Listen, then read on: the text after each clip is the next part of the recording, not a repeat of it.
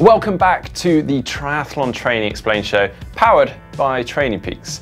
Now, if from time to time you are riding indoors, perhaps on a turbo trainer, as I am today, then you will have quite likely at some point complained that it feels somewhat harder, or maybe considerably harder than when you ride outdoors.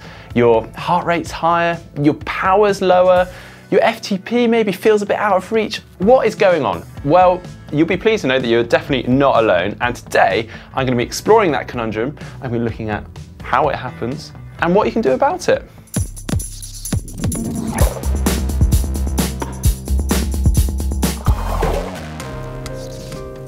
Now, I must admit, there have been times that I've jumped on the indoor trainer and I've wondered what the heck is going on with my legs. And it can really play with your head because efforts just seem so much harder to achieve, sometimes impossible, whereas normally you're knocking them out of the park when you're outside on the road. So what do we think is happening? Well, I've been out and I've asked you just that. Uh, why is it harder indoor training? Because you don't get any rest. You have to keep going all the time. You don't, you're not able to glide, and uh, you have to keep within the zone all the way through, which uh, which is much much more difficult when you're out on the bike. The thing I find hard about indoor training is that there's no distractions. There's no changing gear, there's no steering, there's no needing to be aware of traffic, and so you really have to focus on the pain and how much it hurts. Uh, I think it's because of the heat, so you don't have the wind coming against you, cooling you down, so you can easily overheat, which can uh, obviously make you feel like you're putting out a lot more effort than you actually are. definite love-hate relationship with the indoor trainer and it makes training a lot harder. There's no freewheeling, coasting, um, sitting behind people. There's constant tension on the chain as you're pushing through the session. Well, there are some very good theories there, but let's see what the science says. Now, one theory is that it's due to a reduced cooling effect. See, the human body has quite a small and finite range it can efficiently operate in, and that's between 36.5 and 37.5 degrees Celsius.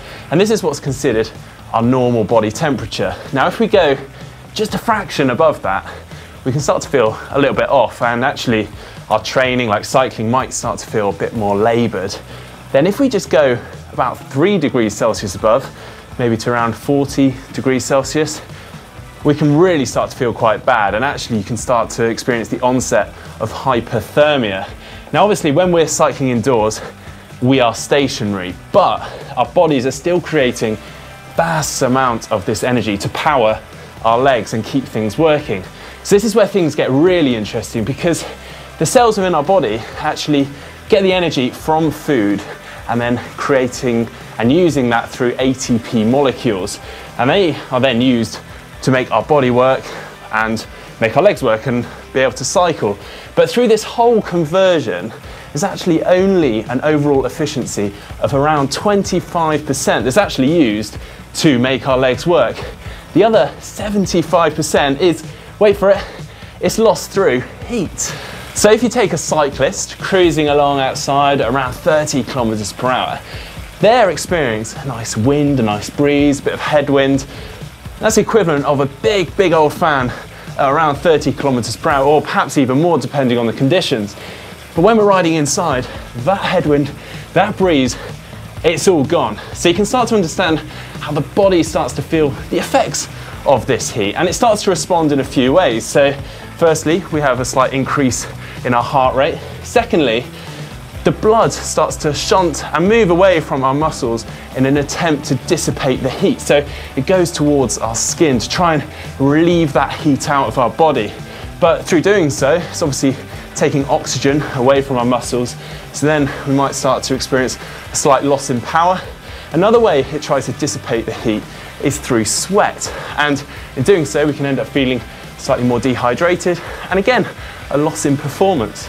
And also, as temperatures really rise, then our head and our brain literally cook, meaning it leads to a decrease in motivation, concentration, and perhaps even lowering our pain threshold. But of course, we all know that that's why we use a fan. A fan is there to essentially recreate the winds, to try and keep us cool, to wick the sweat away from our skin and stop us from overheating. But what I would say is that I know from experience that I am pretty much always dripping with sweat when I get off an indoor training session, despite having a fan. So perhaps it does contribute in some way to making indoor training harder. Now, another theory is that it's due to being in a fixed position. See, without the ability to actually move the bike, we're causing ourselves to use more isolated muscles that perhaps aren't used to working quite so hard. See, when we ride outside on the road, we're able to shift our body weight around, get up out of the bike, move the bike around, and in turn, we can start using more muscle groups, even our upper body, our core, as well as obviously our legs to really help produce as much power as possible. And actually, through doing that, we can allow some muscles to recover and rest whilst others are working to overall help to produce as much power as possible. Another thing athletes do complain about is that some muscles or certain areas of muscles might hurt, such as adductors coming up the inside of the leg. That's a real classic one because when we're riding outdoors, we don't tend to utilize and use those muscles quite so much, but they seem to get quite hammering when we're riding indoors, and that can really contribute to slight loss in power. What I would say is that with time when you're riding indoors, you will start to train those muscles up, condition them, get better at using them, and hopefully start to find it's slightly less of an effort. The indoor trainer also has the ability to suck the life out of even the most motivated of athletes. So if you're riding indoors, maybe in your garage, a dark garage next to your lawnmower and a bunch of tools, let's be honest, that is nowhere near as motivating as riding outside on the road on a clear sunny day. So if you're not as motivated, that is going to contribute to a loss in power. So what I would say is for indoor training, try and tailor your sessions specifically for indoor training. Keep them engaging, keep them interesting, keep that body guessing. Try to make them slightly shorter, more intense. Maybe don't do quite so many of the longer rides indoors. Otherwise, you are just going to mentally burn yourself out. Now, on that note, also things like Zwift and other virtual indoor training platforms are great for keeping you interested and engaged in indoor training. But the big reason, I believe, comes from the indoor trainer itself, or at least from some indoor trainers. See, when you're cycling outside on the road and you stop pedaling, you coast, you just keep on going. But when you're inside on an indoor trainer, when you stop cycling, you pretty much come to a stop within seconds, or at least on some indoor trainers. See, what's happening is when you're outside, you have the momentum from your own body weight, your bike weight, and that just keeps you going so you can freewheel and you can come off the gas and coast. Whereas inside on an indoor trainer, you have a flywheel that's attached to the resistance unit. And what that flywheel tries to do is it tries to replicate that feeling of riding outside on the road.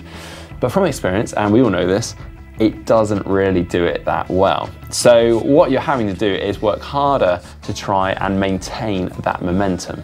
And because of this flywheel, it also changes the way that we apply force throughout the pedal stroke. So when we're cycling outside on the road, you may think that you're applying force evenly and smoothly throughout the whole pedal stroke.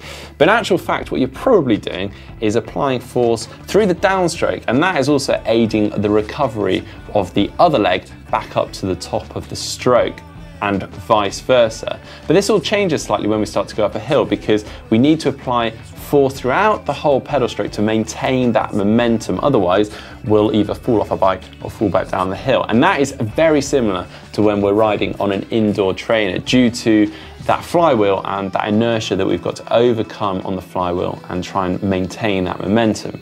Now, all these factors are contributing to what's making it harder and considerably harder than when we'd ride out on a road where we've got minimal resistance from tires and wind, for instance. But fortunately, these issues are becoming less and less due to advances in the flywheels. We've got bigger flywheels on the dumb trainers.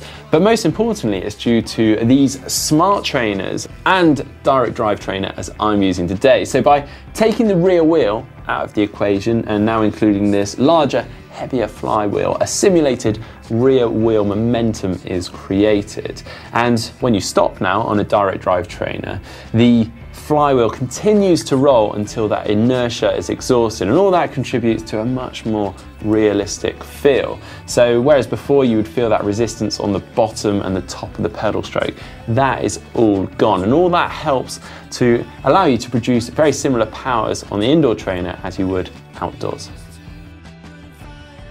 Now, regardless of the type of trainer that you're using, add all those factors together and you can start to understand why some people find riding indoors that bit harder. So, this brings us on to the big question. Should you be adjusting your functional threshold power or your FTP for riding indoors? And that is a very good question. So, what I would say is if you're consistently riding around 10 watts below your usual power compared to when you're riding outdoors, then yes, but before you do that, just check on the accuracy of your power meter. See, some people, when they ride outdoors on the road, they'll use the power meter that's on their bike, and then when they ride indoors, they read the power from their smart meter, but they might be reading slightly differently.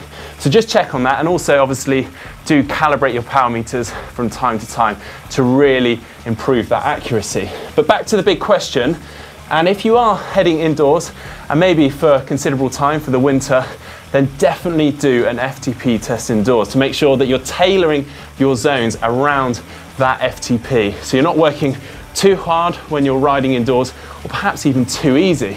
And on the subject of riding too easy, you do need to make sure that you're retesting quite regularly with an FTP test. So I'd normally suggest every six weeks, but if you do find that you move on quite considerably, then obviously retest sooner. Well, with all that being said, if you train exclusively indoors and you're keeping yourself nice and cool and you're highly, highly motivated, then you may well not actually see any difference or very little difference between your power indoors versus outdoors. Some people just don't find they have a difference, but they are certainly the lucky ones. But hopefully, what we have shown today is that it's not all in your head, it can actually be harder training indoors. And actually, with these advances in the direct drive smart trainers, hopefully we'll see less of these complaints with time. Now, if you like this video, hit that thumbs up button. And if you'd like to see more from GTN, just click on the globe and subscribe. Now, if you'd like to see our how to choose an indoor trainer video, just click up here. And if you'd like to see our other indoor versus outdoor video, but this time for running, just click down there.